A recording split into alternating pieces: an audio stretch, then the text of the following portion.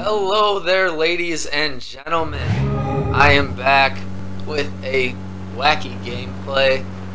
I would like to start off by saying, in a little bit, you will see again why I am the best driver in the game.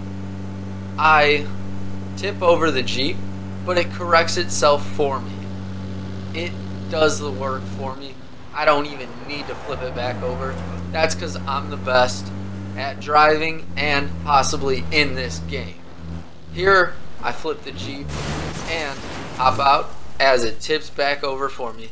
Then I come into the building, and this network lag, it may seem accidental, but I meant it. I popped right back up and took this guy's head off. Again, can't escape the grasp of the Zablewski.